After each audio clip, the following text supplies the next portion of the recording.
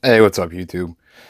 So today we're in the shop and we're going to be recycling some HDPE. That's high density polyethylene. And uh, I'm going to show you my method for doing it. I know there's a couple different methods, but this is how I do it. Get pretty good results. High density polyethylene can be found all over the house if you really look. It's in milk cartons. It's in plastic grocery bags. I'm going to take and recycle some of that stuff. So I can save a little money and figured I'd bring you guys along for the ride. Show you how to do it up next.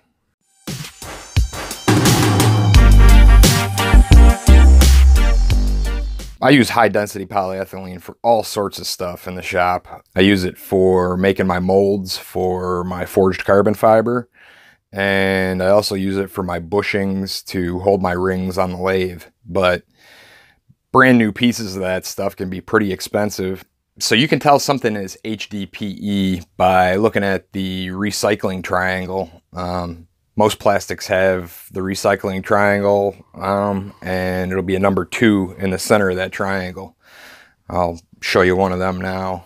So this is the bottom of a milk carton and you can see, get it into focus there, that little triangle right there with the number two. It actually even says HDPE on it but that signifies HDPE. Some things won't say HDPE, some things will just have the number two in the triangle, and that's how you can tell that you've got high density polyethylene. So I actually have a box of HDPE shavings from turning some of the HDPE on the lathe, making my ring molds. So I'll be mixing this in with uh, some cut up milk carton pieces and just some scrap pieces that I've had from making making other things in the shop.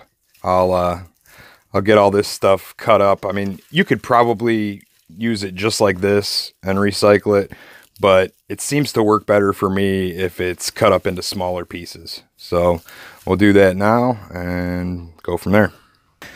Now I just use these shears to cut up most of my HDPE and you just want to get it into uh, pretty small pieces. The smaller and more uniform the pieces, the better your final result will be.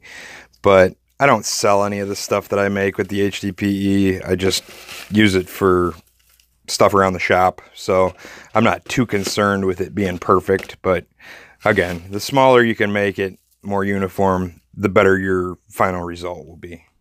Now we're going to cut up some plastic bags, some grocery bags, and throw that in the mix too.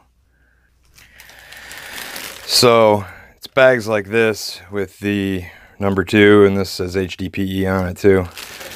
These plastic grocery bags, just kind of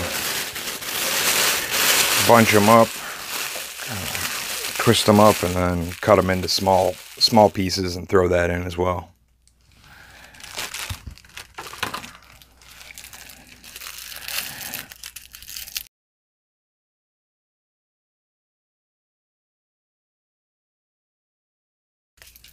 Again, the smaller the better, but it doesn't have to be perfect. Okay, now that we got our HDPE cut up, and as you can see, it doesn't matter what color it is, as long as it's got the uh, number two recycling symbol on it, you're good to go. Now that we got that cut up, we will bring it over to the oven and get that going. You want to get your oven at right around 350 degrees you don't want to trust your oven setting. You want to double check that with some kind of external thermometer. All right, so we'll turn our oven on here and let it heat up. And now my oven, right about there, looks like it's at about 300 degrees, but that actually equates to about 350 degrees inside. So we'll let that heat up for a minute and then show you what we'll do next. Actually, while that's heating up, what we'll do is got a couple of these pans from Walmart. I think they were like 95 cents each.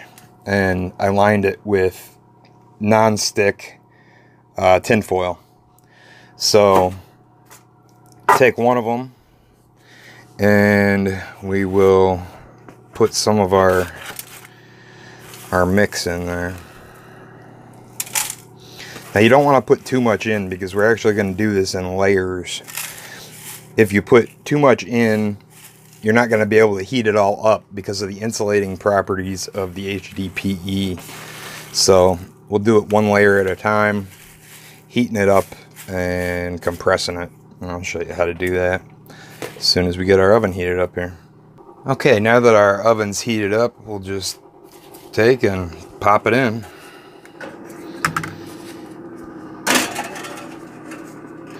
Now from here on out, we want to be wearing gloves because that stuff's going to get molten hot and you don't want to get it on your bare hands. You're going to have a real problem if you do. Okay, now as long as you keep your oven around 350 degrees or so, you're not going to have a problem with any kind of fumes. Um, it's just going to melt the plastic down, but not um, not burn it. And uh, so you won't have any smoke or fumes just make sure that when you put it in your pan, you you keep an eye on it because if you don't keep an eye on it, sometimes the plastic can expand a little bit and touch the heating element. If it touches the heating element, then you're going to have smoke. So be careful of that. Now while that's heating up, I put tin foil around the bottom of this pan. This is another one of the same pans. Then when you pull that out, when it's nice and warm, you can compress it down and put more of your mix into the uh, into the pan. So what we'll do, we got that in right now. What we'll do is we'll just pop it out and check the temperature on it. Okay, that's at about 220. So we want it a little hotter. gradually go up so you don't burn your plastic. And like I said, you can gradually increase it till you get to right around 350. That's that's kind of the sweet spot for melting but not burning. If you burn it, you'll know. you'll definitely smell it.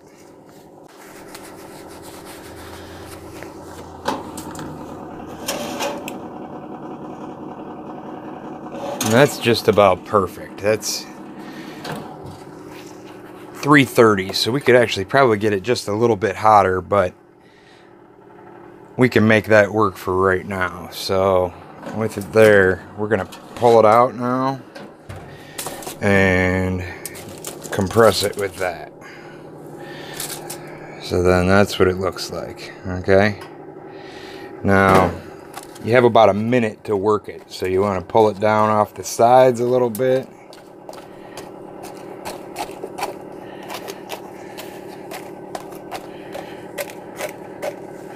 Then throw it back in, let it warm back up. So this toaster oven actually cycles. It's got a feature called turbo and basically that's a convection cycle. So it's constantly blowing the air around, making it a more even temperature. You hear the cycle right now, the heat's on now, it just cycled off. So as soon as it goes off, check our temp, and we're at 353. So 350-ish, that's perfect. So that's where we want to take and then add more add more of our mix.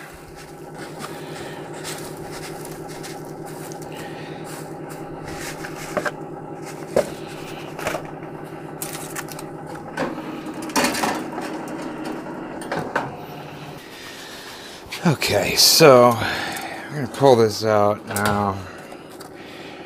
Got that melted pretty good, but uh, it's not gonna make for a thick enough sheet for what I need. So we'll take and we will fold it over, squish it, and then fold it over again squish it and put it back in. Now that we've got it heated back up a little bit, we can take it and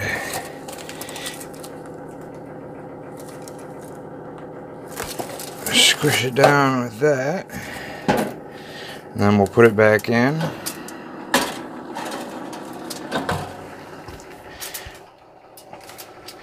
We're going to heat it up just a little bit more than put the other tin back on top and then put some clamps on it to let it solidify again. Okay, now we're going to pull that out. Throw that on top. Take a wood block there. And then we're going to take our clamp.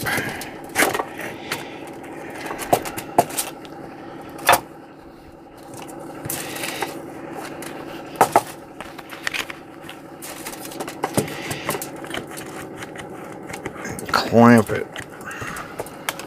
and take another clamp from the other side clamp that. Get it nice and tight.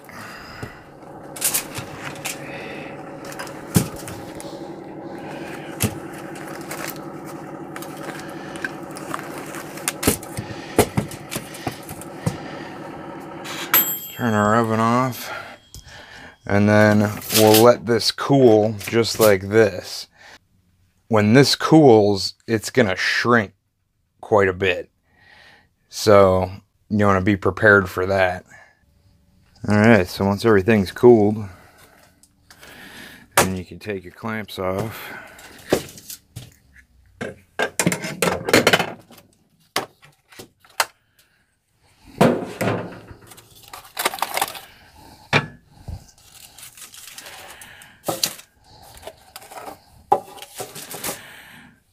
Then you've got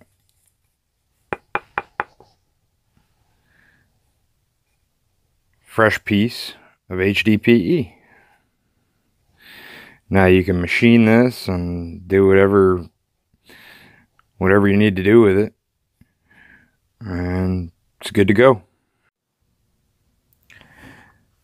So here's the finished product. These are a couple bushings that I made up for turning rings. And they came out of this block that we just made. And uh, tell you what, they came out great. There's no gaps or anything. They're completely smooth. It's just like uh, just like fresh HDPE. And a good thing about HDPE is most adhesives don't stick to the stuff. So it's really good for putting finishes on the rings. But uh, tell you what, came out great.